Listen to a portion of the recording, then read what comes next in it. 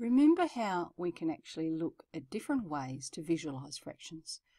We could use words, so we might have 3 tenths, symbols, 3 over 10, pictures, 3 shaded parts out of 10 equal parts, and 3 tenths on a number line where there's 10 equal spaces between 0 and 1. Now all of those ways can help us because when we're counting fractions, things like this are really useful. So how could we show tenths? Well, let's take this. It's a rectangle. Let's call that our whole, or 1. If we divide it into 10 equal pieces, they're tenths. So that would be 1 tenth, 2 tenths, 3 tenths, and we can jump up to 7 tenths. And then if you colour the whole lot in, you've got 10 tenths, which is the whole, or 1. See how they're worth exactly the same amount? They take up the same amount of space. One is shown in tenths and the other as a whole number. So when we compare fractions, that really helps us. So if we want to think which is larger, 6 eighths, well, there's our whole divided into 8 equal pieces, and if we shade 6 of them, that's what 6 eighths looks like. Now we need the exact same size whole for this one, and again, it's 8, so we're going to compare 6 eighths to 2 eighths. So we need to shade two parts. And you can see that 6 eighths takes up a lot more space than 2 eighths. 6 eighths is a lot more than 2 eighths, and it's much closer to a whole. But what if they look different? What if we need to compare these three fractions? One of them's a picture, but it shows 6 out of 8 equal pieces. Our symbols show 5 of 8 equal pieces, and our words show 2 of 8 equal pieces. So they've all got the same denominator of 8. We've got 6 eighths, 5 eighths, and 2 eighths. So we can still actually think about how big they are. Because we've got the same denominator now, we can actually write them all as symbols. And now we can see they're in order from largest to smallest. 6 eighths is bigger than 5 eighths, which is bigger than 2 eighths.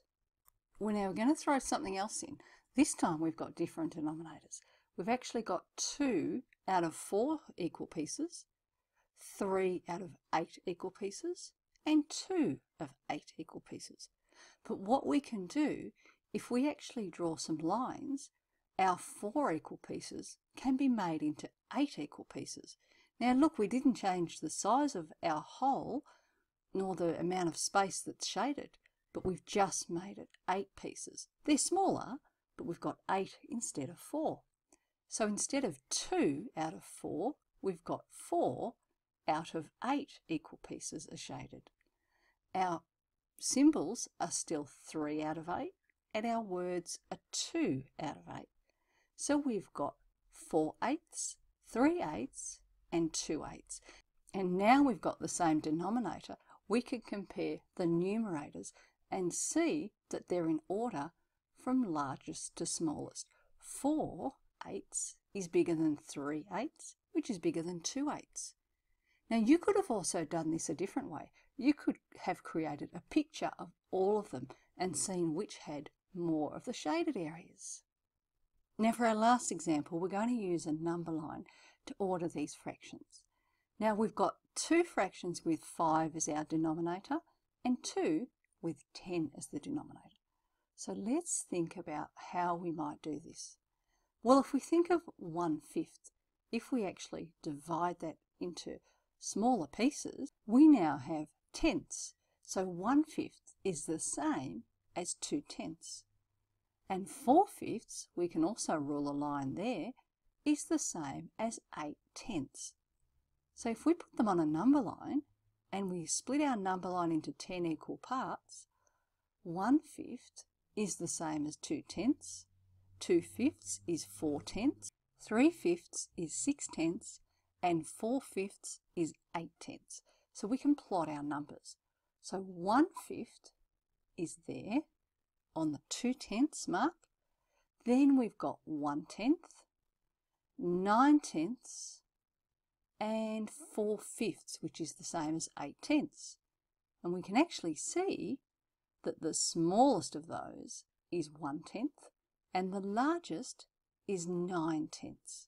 So we actually used the same denominator to plot them on a number line.